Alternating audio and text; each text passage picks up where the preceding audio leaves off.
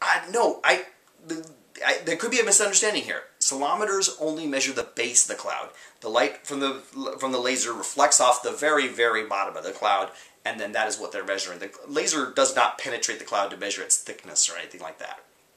Fantastic. All right, we are finally done with this enormous lecture. If you have any strength left, uh, navigate back to Blue Line to move on to the next activity.